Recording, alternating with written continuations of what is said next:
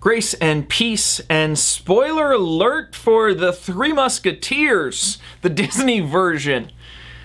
My name's Ryan, I'm the movie pastor, and the theaters are closed, so I'm watching movies on Disney Plus, because I had to get Disney Plus so I could see Hamilton, and I finally got around to watching The Three Musketeers. What an all-star cast! Man, that that was fun uh, let's talk about the theological themes that are present in the Three Musketeers.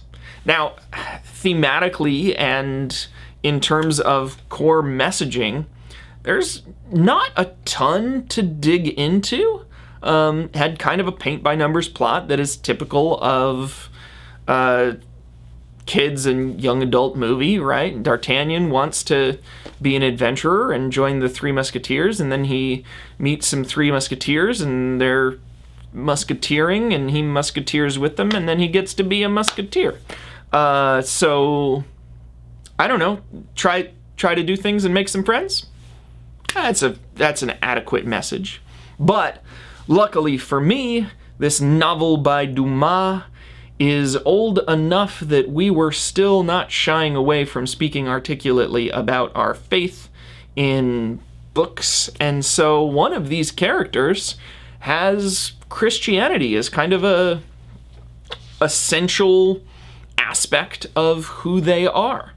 I'm speaking, of course, about Aramis, the musketeer who, in this version, is played by Charlie Sheen. Charlie Sheen plays the religious musketeer.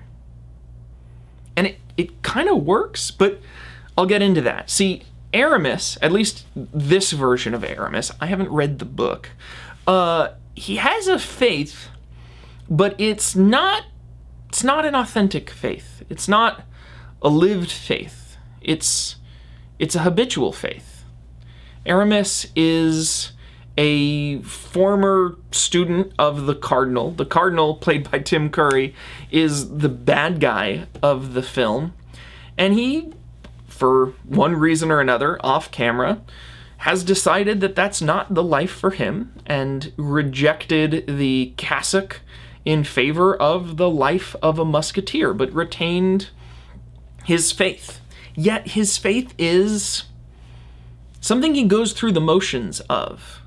So he delivers last rites for one of the people that dies. He tries to tutor theology to one of the women that, uh, classic of the Cavalier era, we're trying to woo, but when that woman is less interested in learning her Bible and more interested in making out with Aramis, he's totally willing to do that and even to give a theological justification for it.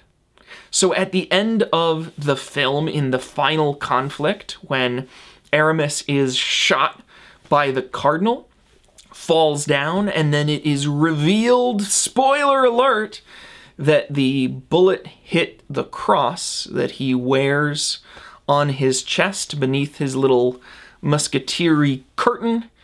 He responds with the pithy gotcha quote, See, there is a God. Oh, Athos and Porthos weren't so interested in theology, but he got shot in the cross and now he's still alive, so gotcha. And and that's kind of where the movie leaves it.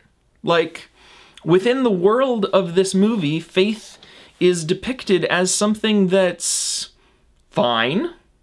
Like if that's your thing, that can be your thing. There, uh, there might even be some advantages to that.